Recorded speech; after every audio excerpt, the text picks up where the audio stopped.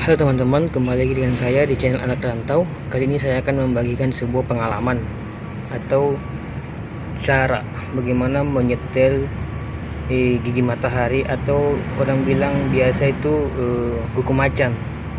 Jadi kendala di unit saya ini, ini unit forklift 4 ton merek Toyota. Jadi di sini eh, forklift ini angkatan pertamanya berat jadi waktu kita mau uh, sedang apa starter lalu kita mau jalan angkatan pertamanya itu berat lalu uh, kalau unit operasi uh, agak lama atau sudah atau sudah lama begitu tenaga kayak berkurang. Terus kalau kita operasi sudah lama dan tekan tekan pedal kopling seperti ada yang mengganjal mengganjal tapi uh, tidak tidak terlalu dia dia tidak tidak dia, dia tidak terlalu mengganjal lama. Atau kayak kita tekan kayak ada mengganjal begitu. Jadi kita tekan tekan lalu nah, nah kayak ada mengganjal. Jadi uh, saya saya akan coba uh, menyetel di uh, apa nama uh, kuku macannya uh, supaya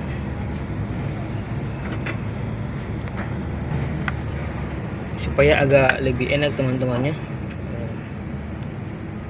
untuk untuk tidak berlama-lama mari kita langsung kerjakan saja. Pertama-tama kita akan buka cover ini. Kita buka lalu kita lepas selang-selangnya. Baru kita setel. Oke sudah teman-temannya uh, sudah lepas covernya. Selanjutnya kita akan melepas ini baut 10 ini dan kita lepas ininya. Apa nama? E, penahan baut eh, penahan mur setelannya ada empat buah satu dua di bawah satu lagi dan ini satu lagi. Oke kita coba lepas supaya kita bisa setel. Ini buat 10 teman-temannya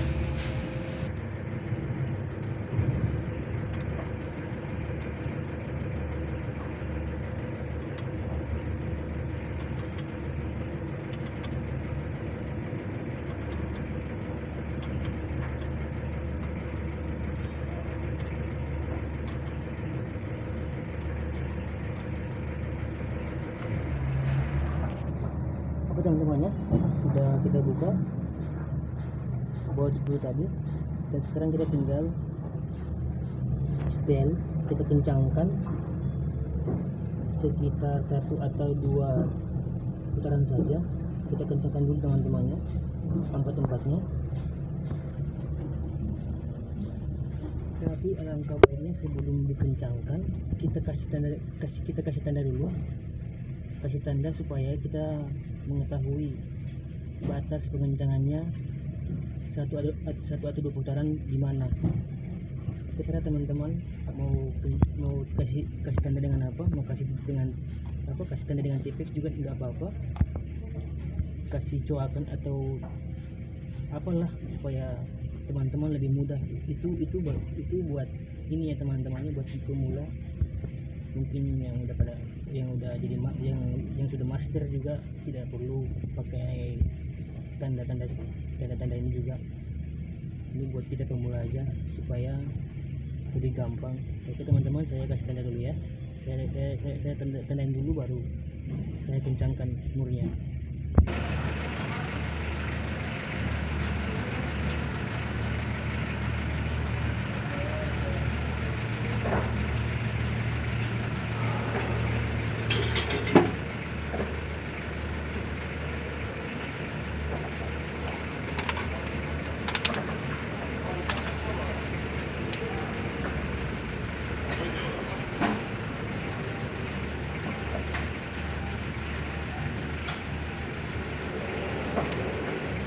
tunjukkan dengan begitu juga teman-teman ya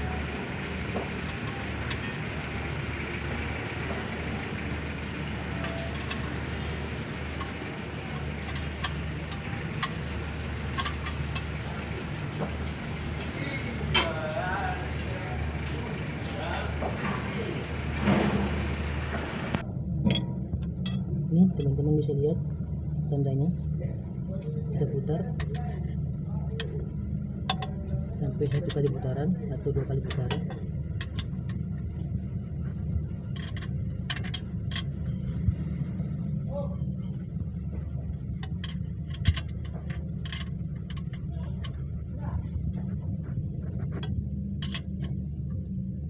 atau mungkin setengah saja teman-teman setengah saja. Soalnya ini sudah kencang juga. Saya coba kencangkan segini dulu sedikit ini dari sini ke sini coba segitu dulu. Nanti kalau memang sudah koplingnya sudah enak berarti pas kalau emang koplingnya kurang enak kita tambahin lagi putarannya. Oke kita coba putar flywheelnya supaya kita setel di sebelah di mur yang satunya lagi. Sampai empat setelan teman-temannya. Oke saya coba putar dulu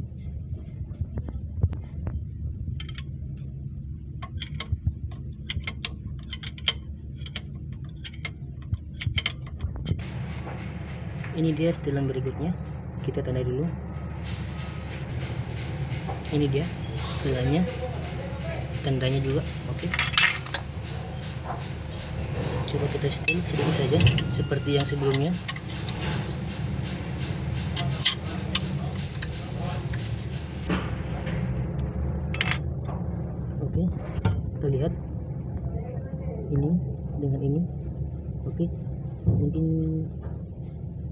cukup dulu cukup cukup dulu.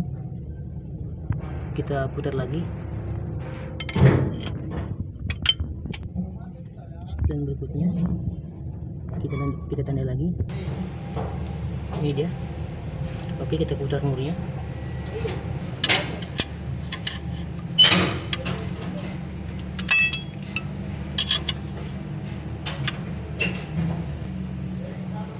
oke kita lihat oke segitu dulu. Kita putar lagi. Nah ini dia. Kita tanda, kita kasih tanda lagi. Kita setel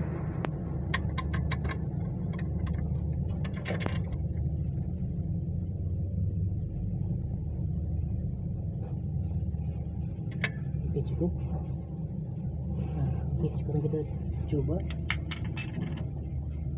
Apakah sudah enak koplingnya kita tutup lagi covernya untuk sementara setelannya kita jangan pasang dulu. Ini kita cuma mau tes saja. Oke.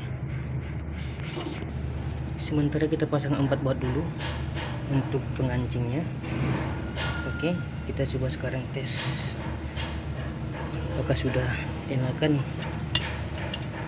koplingnya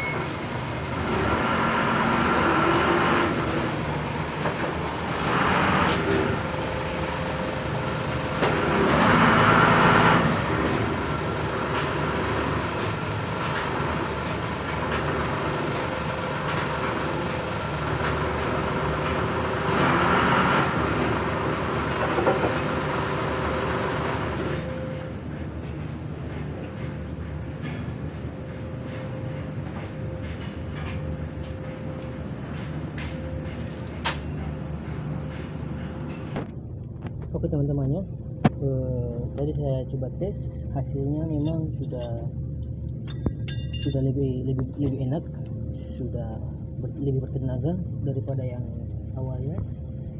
Eh, mungkin sekarang kita kita eh, kita coba tinggal tinggal pasang apa namanya eh, setelannya saja. Buat apa? Buat buat setelannya setelah itu kita coba langsung operasi. Mudah-mudahan just teman-temannya. Eh, mungkin sekian dulu video saya. Eh, mudah-mudahan video ini bermanfaat dan membantu teman-teman yang mungkin mengalami kendala yang sama yang mana eh, kopling atau pada saat injak kopling dan ma- mau saat eh, pada saat mau jalan tenaga tenaga, tenaga awalnya lemah atau kurang. Kurang bertenaga. Mungkin teman-teman bisa ikuti cara yang telah saya buat tadi. Semoga membantu. Oke eh, jangan lupa di like di komen dan di subscribe teman-temannya. Eh, sekian dulu. Eh, tetap jaga kesehatan patuhi protokol kesehatan dan pakai masker jaga jarak serta cuci tangan. Oke sekian dan terima kasih. Salam sehat